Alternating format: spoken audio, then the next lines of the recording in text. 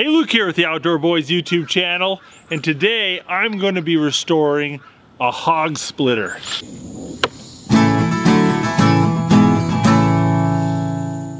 This folks is what we call a hog splitter. It is a two-handed meat cleaver used for, you guessed it, splitting a hog carcass. They'll string it up by its legs, just go right down the center, cut the carcass into two with this thing. It's closer to a broadsword than a normal meat cleaver. It is enormous. This hog splitter is made by Foster Brothers. The blade is actually in really good shape. There's one or two little nicks in the blade, a little bit of discoloration on the blade, but nothing too crazy. But the handle's what needs the attention and restoration.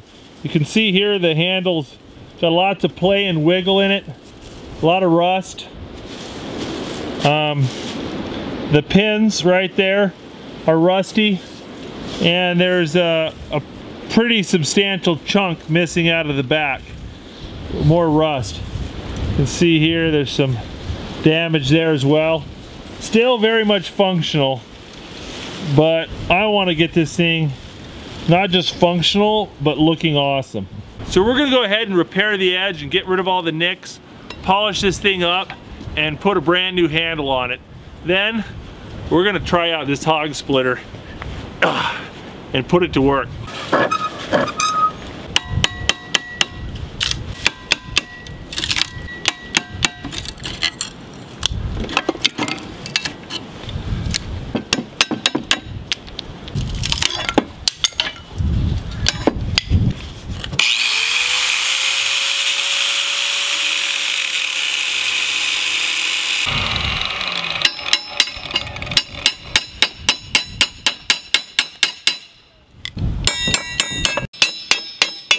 You can see how rusty the handle is compared to the blade. That's because there was a gap between the wood and the metal, and that gap allowed water to get in there and sit against the metal and rust it. So I'm gonna try the orbital sander on this to take the rust off. I think it'll be a little bit more gentle. We're gonna start with a 240 grit sandpaper and see what happens.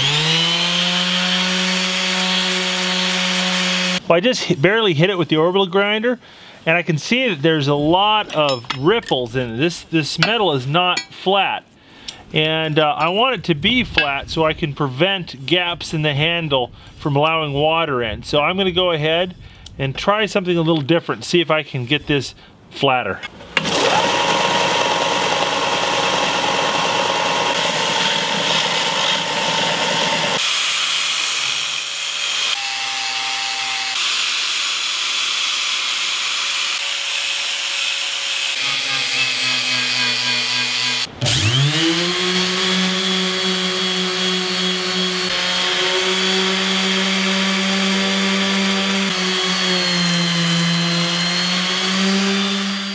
Not too shabby, looks pretty decent, but it's time to go inside and get some dinner. So I'm gonna go put this away and uh, we'll pick this up again later. Well, here we are. It's another lovely day and I'm gonna keep working on this hog splitter. And I'm trying to be nice and careful with this thing and not take off too much metal. I just wanna take the patina and the rust off and not much else.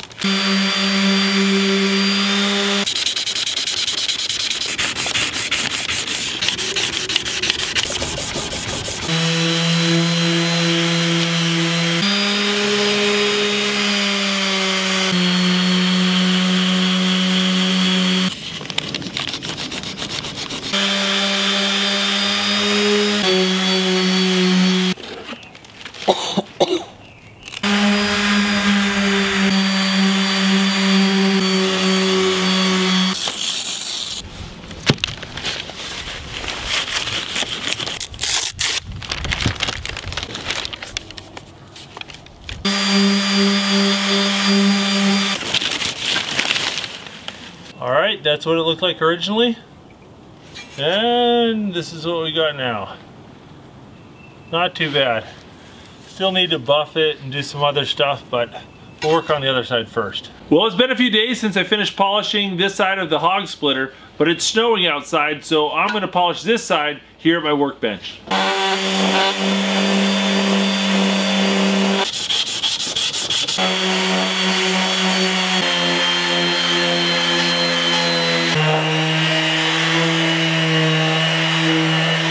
Well, there we go. Mirror finish on both sides. For the handle of my hog splitter, I want to use a piece of this purple heartwood. It's just an absolute awesome color.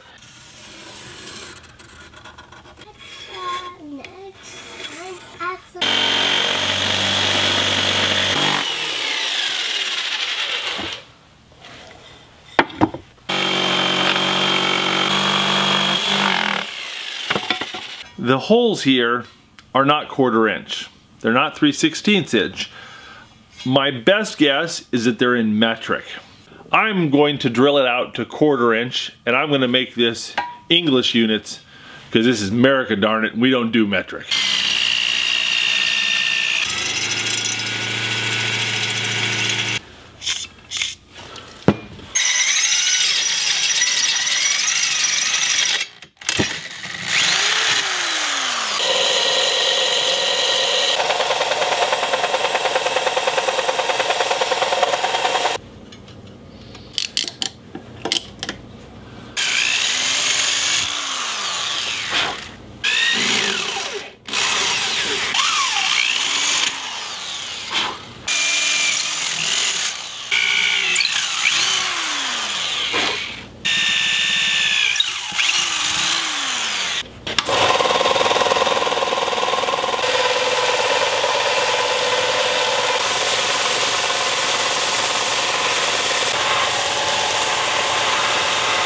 Well, you can see there, I've ground away about half the material on this side.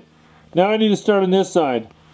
Obviously, using a belt sander is not the most efficient tool for this job, but it's the best tool I got. So make do with what you got.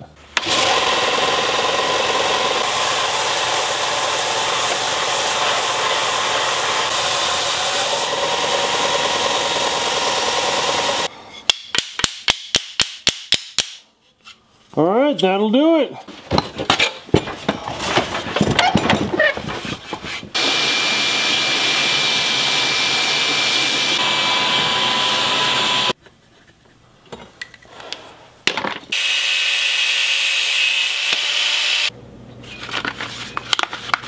Hopefully this works.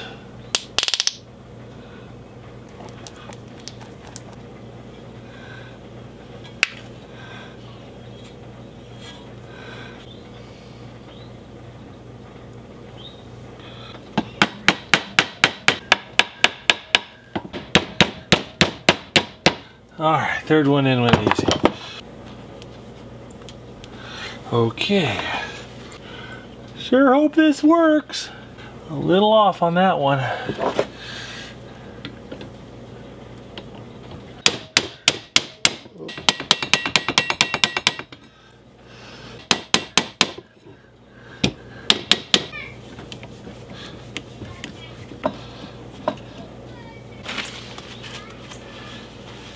There we go. The handle's on, the pins are in, the epoxy's setting.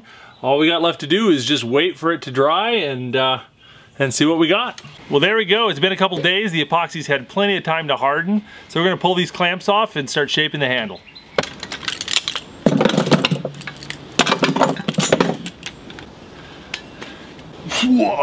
Listen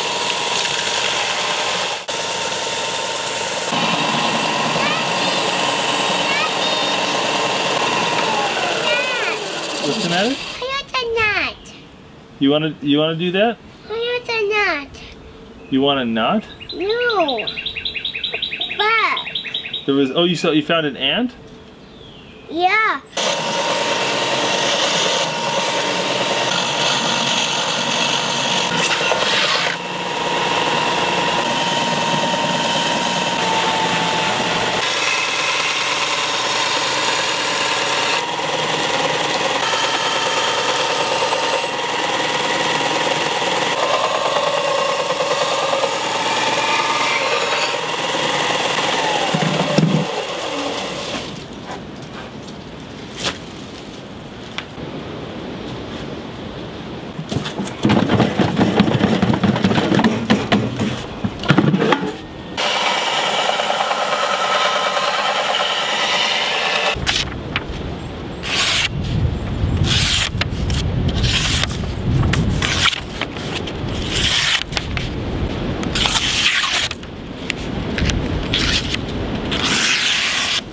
Trying desperately not to take my fingers off doing this.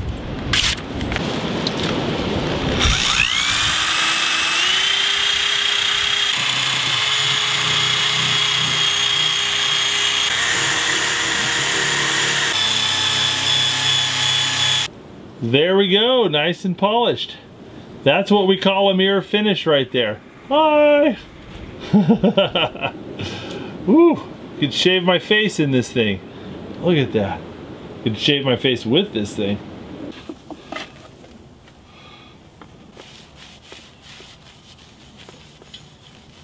That is a pretty tool right there. Look at that thing. Well, this has been a really fun project and I'm excited to test this hog splitter out. Now, unfortunately, I don't have a pig carcass, but when the weather gets a little bit warmer, we're gonna change that. We're gonna throw ourselves a massive barbecue and we're gonna get to try this thing out. But for the meantime, I've got a couple other things that uh, might be fun to test this hog splitter out on.